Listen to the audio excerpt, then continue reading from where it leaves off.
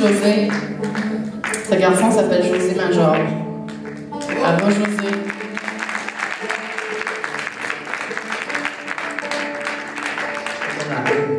Comme la C'était une, une blague assez ordinaire, je dirais. C'est la canadienne. Je vais avoir besoin de vos voix.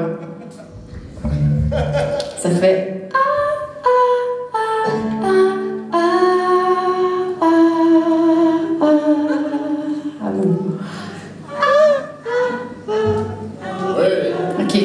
On va jouer doucement pour vous.